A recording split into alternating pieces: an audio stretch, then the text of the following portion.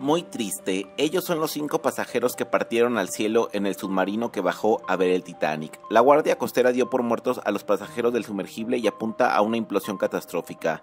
Los restos hallados en la zona donde está el Titanic son congruentes con la pérdida de presión en la cabina, según las autoridades.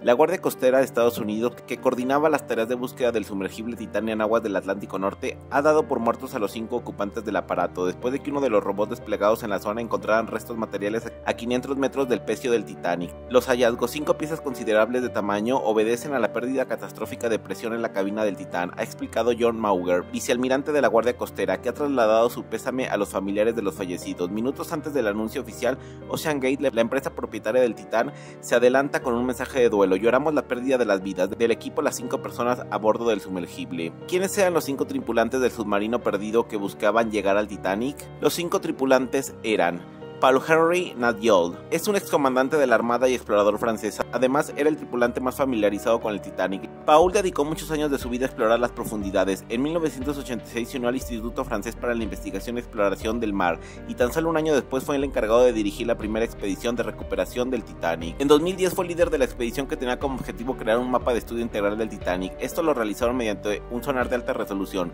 permitiendo así producir imágenes en tercera dimensión del interior del barco. Había completado 35 y había supervisado 5.000 objetos encontrados, incluyendo una sección de 20 toneladas del caso del Titanic conocida como la Gran Pieza, la cual se exhibe en Las Vegas, Estados Unidos.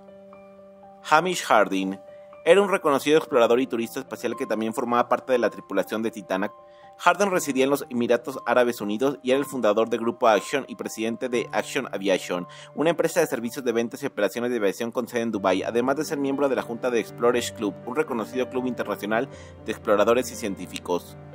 Con una formación en ciencias naturales e ingeniería química por la Universidad de Cambridge, Harding había viajado a la Antártida en múltiples ocasiones y había sido condecorado entre, las leyendas vivas de la aviación. Shazada y Suleiman Daywood, padre e hijo. Shahzawan Daywood era un empresario británico de 48 años, proveniente de una de las familias más ricas de Pakistán. Se encontraba a bordo del submarino Titán junto con su hijo Suleiman Daywood, de 19 años. Shahzada era miembro del Instituto SETI en California, cuya misión era explorar, comprender y explicar el origen y la naturaleza de la vida del universo. Además, también era miembro del círculo de fundadores del British Asian Trust a cargo del rey Carlos III. Residía en Surrey, al sur de Londres, donde vivía con su esposa Christine y, y sus dos hijos, Alina y Suleiman, que lamentablemente también partió al cielo.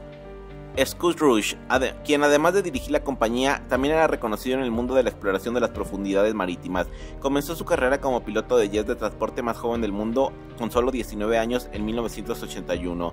Después de tres años se unió a la corporación McDowell Douglas como ingeniero de pruebas de vuelo. Fue en 2012 cuando se convirtió en el cofundador de Ocean Gate, organización sin fines que se dedicó a impulsar las investigaciones y la tecnología marina, creando desde su nacimiento varios dispositivos capaces de alcanzar profundidades marítimas de entre 4.000 y 6.000 metros.